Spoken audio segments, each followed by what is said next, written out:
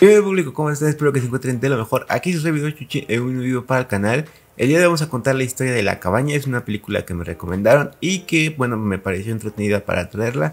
Así que, bueno, gente, te la voy a dejar para que la escuches. Mackenzie McPillit sufrió abuso físico y emocional cuando era niño a manos de su padre borracho, quien también abusa de su madre.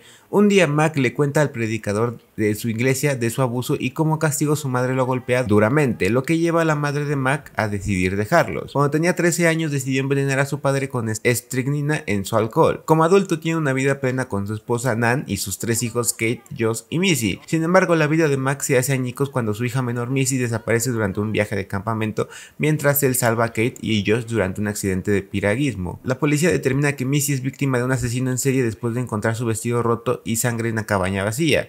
Kate se disculpa a sí mismo por la muerte de Missy debido a su propio comportamiento imprudente al causar el accidente de la canoa en primer lugar. La tragedia descarrila la fe y la vida de Mac hasta el comienzo del invierno cuando recibe una nota mecanografiada sin sellar en su buzón. El mensaje está firmado Papá, que era el apodo de Nan para Dios, y lo invita a reunirse en la cabaña. Pensando que este podría ser la oportunidad para conocer y capturar o matar al asesino en serie, Mac conduce él mismo hasta ahí y al encontrar la cabaña en ruinas, fría, desolada y vacía, se ve abrumado por la frustración, la rabia y un impulso casi irresistible de apuntarse a sí mismo con su arma. Pero de repente se encuentra con un misterioso trío de extraños que lo invitan a quedarse en su pequeña y acogedora casa bien amueblada que está situada justo al final del camino y curiosamente en medio de un hermoso desierto soleado de verano. El trío de extraños revela gradualmente sus identidades, una mujer afroamericana es Dios, un hombre de Oriente Medio es Jesús y una mujer asiática es el Espíritu Santo. El propósito de la invitación es primero ayudarla a comprender mejor su vida desde un contexto mucho más amplio o una perspectiva más alta. Esta comprensión le ayuda a liberarse de la inclinación a juzgarse a sí mismo y a todos los demás que se cruzan en su camino. Es a partir de ese punto de partida que puede continuar su largo y lento viaje hacia la curación para él y su familia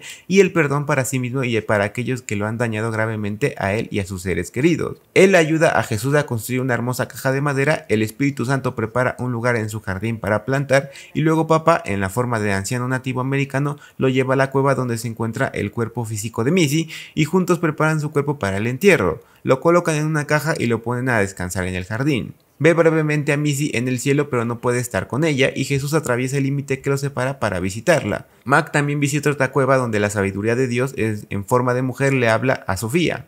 Finalmente, el trío y Mac se encuentran con el espíritu del padre de Mac, quien se disculpa por el maltrato de Mac y Mac lo perdona de mala gana. Mac también se disculpa con su padre, a quien mató, y finalmente entiende que la muerte de Missy no fue un castigo para Mac por parricidio, quien se disculpa por su maltrato. A Mark, finalmente capaz de superar su dolor y recuperar la fe, deja el trío y regresa a casa con su familia. Bueno, gente, hasta aquí este video espero que te haya gustado. Si fue así, por favor, dale like, suscríbete al canal y compártelo con tus amigos para que el canal crezca. Y bueno, sin nada más que decir, nos vemos en el próximo video. Bye.